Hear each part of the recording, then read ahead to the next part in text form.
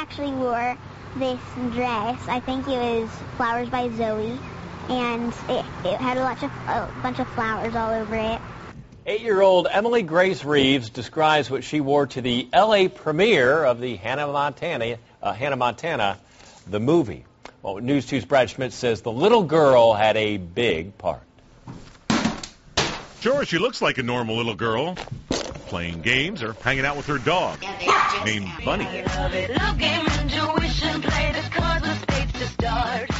Then again, not too many girls have a sizzle reel at age eight. Emily Grace Reaves is a little girl with the little Hannah Montana movie part with big implications. She's trying to keep it a secret that she's Miley, and then, well, I find out that she is that she's Hannah and Miley. Indeed, Emily Grace's character, Cindy Lou, is the first to find out of Miley's double identity. Now, Emily found out there are perks to being an actress. The makeup lady, she actually did lotion on my arms, and it, like, felt really good. It, like, felt like a massage. Hey, but there were tough times, too. My mom and me were walking out of my trailer, and we and the door slammed on my finger as hard as possible, and I had to put my fingers in ice tea. Ouch.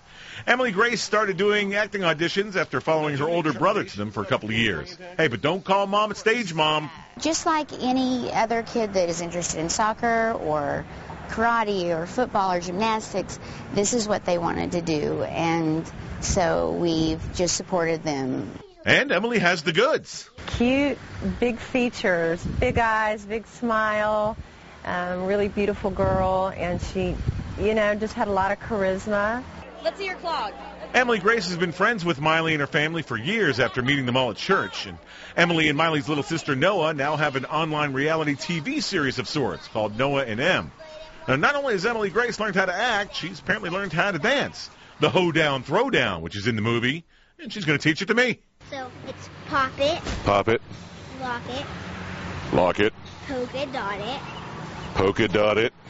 Oh, good gravy. Brad Schmidt, News 2.